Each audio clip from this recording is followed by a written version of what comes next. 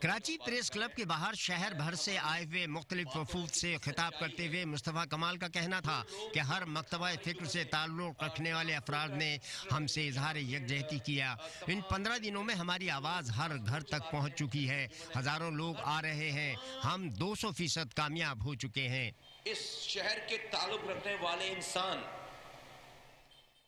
جو اب تک ہماری طرف متوجہ نہیں ہوئے ہوئے تھے، وہ ان پندرہ دنوں میں انہوں نے یہاں پر آ کر اپنی تائید، اپنی حمایت پاک سرزمین پارٹی اور اس کی لیڈرشپ کے ساتھ جو ہے وہ آ کر یہاں پر اعلان کیا ہے باقاعدہ یہ ہماری سکسس ٹو ہنڈریڈ پرسنٹ ہم کامیاب ہو گئے۔ مصطفیٰ کمال کا مزید کہنا تھا کہ ہم تو دشمنوں کے لیے بھی اختیارات مانگ رہے ہیں۔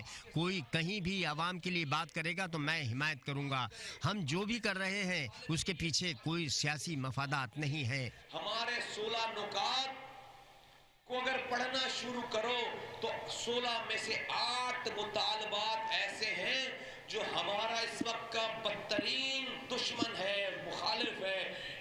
جو پارٹی مخالف ہے، ہماری بدترین مخالف ہے، جس پارٹی کا میئر بدترین ہمارے مخالف ہے، ہم اس کے لیے اختیارات مان رہے ہیں۔ میرا سیاسی ایجنڈا نہیں ہے۔ میرا ذاتی ایجنڈا نہیں ہے، انیس قائم خانی کا سیاسی ذاتی ایجنڈا نہیں ہے۔ پاک سرزمین پارٹی کا سیاسی ایجنڈا نہیں ہے۔ ان کا کہنا تھا کہ لوگوں کی فلاح و بہبود کے لیے کچھ نہیں کیا جا رہا تھا، اس لیے اس پارٹی کو چھوڑ دیا۔ ہم لوگوں کے ووٹ لے کر پاور میں نہیں آنا چاہتے۔ اگر ہماری پہلی والی جماعت لوگوں کی فلاح و بہبود کے لیے کام کر رہی ہوتی تو کیوں چھوڑتے؟ ہمیں، ہم نے سوچا تھا یہ کام کر رہے گے۔